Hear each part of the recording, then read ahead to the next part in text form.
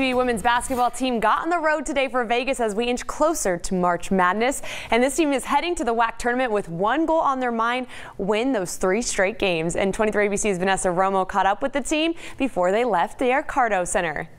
After an early morning practice, the women's basketball team is now headed to Sin City looking for a second chance at that WAC tournament title.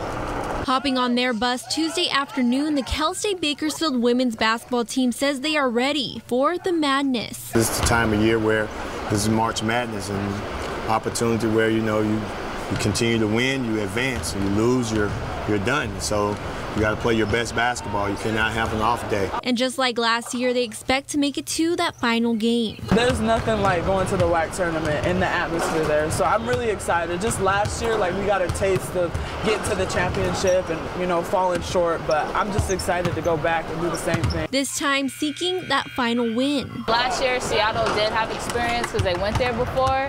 So I feel like we're in the same boat with experience and knowing what it takes to go and win it. On their way, the Roadrunners will face GCU in the first round Wednesday night. And although they defeated the Lopes their last two meetings, they expect a battle. We know they're going to come out and play a lot harder. Like I said, this is the time of year where teams play extremely hard. And we have to come out and match that energy. Actually, we have to overmatch their energy. We have to be above and beyond of what we're supposed to be able to do. And for the five seniors, it's about making a final run as a team together. It means everything to me. I don't care about any individual accolades. I just want to get the championship and bring it back home to my team.